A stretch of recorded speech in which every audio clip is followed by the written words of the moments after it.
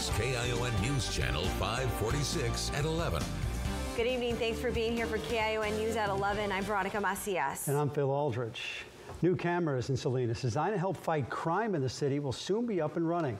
The Salinas County Council, City Council, FARBI, approved the use of license plate readers. The ION's Erica Brattin tells us how there was concerns from people's privacy, but advocates guarantee the focus will be on license plates only. Hey, Erica. Hey, Phil. Much like the ShotSpotter technology, the automated license plate reader cameras give Salinas police an additional way to track and capture criminals. Automated license plate recognition cameras, which are also called ALPR cameras for short, are considered helpful when a crime takes place. Police say cameras only act as recording devices.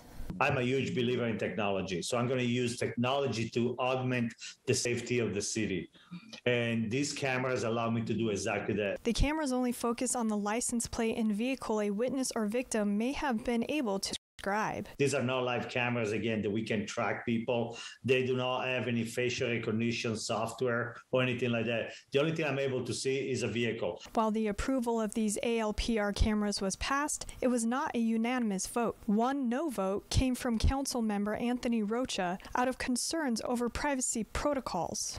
I wasn't necessarily against the technology. I just wish that we would have taken more time to um, codify the privacy policy and make it a council adopted policy, and then also focus on establishing a routine schedule for auditing to ensure that privacy is not being given out.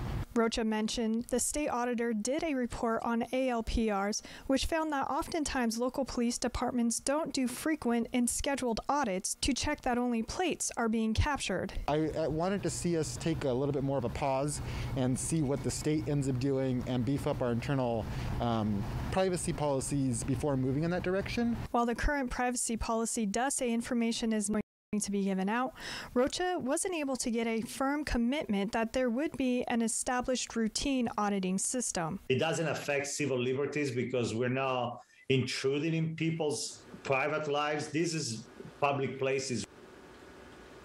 About 20 ALPR cameras will be strategically placed around the city, especially in high crime areas, along with the city's entry and exit points.